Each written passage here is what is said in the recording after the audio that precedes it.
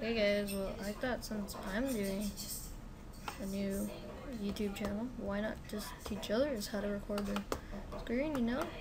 So um yeah, I'm just gonna show you how you can do that for gaming video or tutorials or whatever you'd like to do. Private purposes if you would like. Um so yeah, what I'm using is Camtasia Studio 8. There are a lot of other ones that I have, like Bandicam I have Bandicam, Camtasia Studio 8, Fraps. I have Debut, Video Capture. Um, I do have all this good stuff. So, um, I would recommend probably Fraps if you have a really good computer. Um, yeah, Fraps would be probably be the best to use. And, um, Bandicam would be good too. Uh, Bandicam and Fraps are probably like some of the best too. I think there is one more. I forgot what it is called, but uh, yeah, there is one more. Um, so yeah. Uh, well, let's get started. You can get Camtasia Studio 8 uh, anywhere. This one I got from a torrent. Uh, it I pirated it. Yes. Don't don't don't say stuff. Don't say stuff. Um. But um, yeah. So let's get right to what we're gonna do. Once you get, you can get it from any torrent. So let's go search one up right now. Um.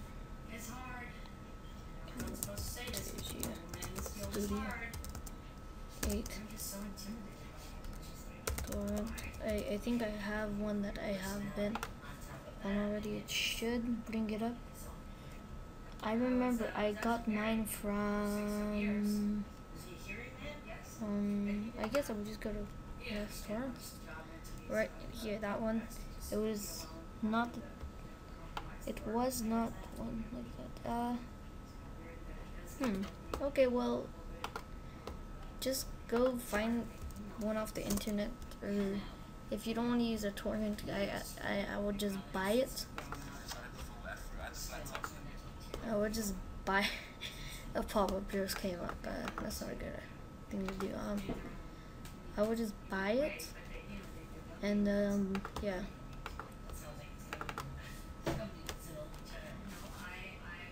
So let's open Camtasia. Wait for it to load. I think a new version is available, but I cannot update it or else this will go completely to hell.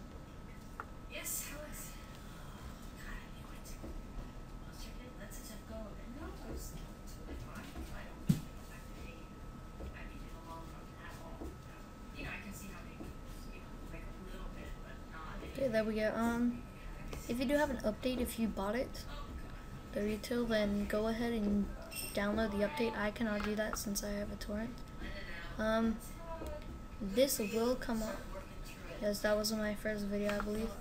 Um, this will come up, and you will go to this. You can actually record. You know, after you record, you can produce it and share it onto a screencast or YouTube or whatever site you would like. Um, you can zoom in into the video. You can add audio clips to it, transitions, and a lot more.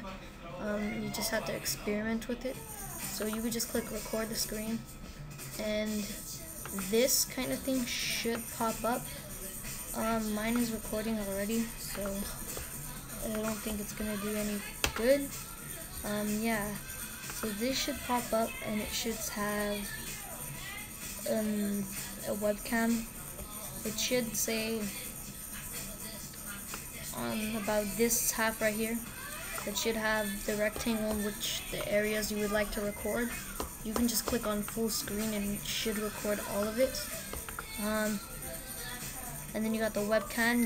It, there's a webcam icon right there you can click the webcam icon to record yourself.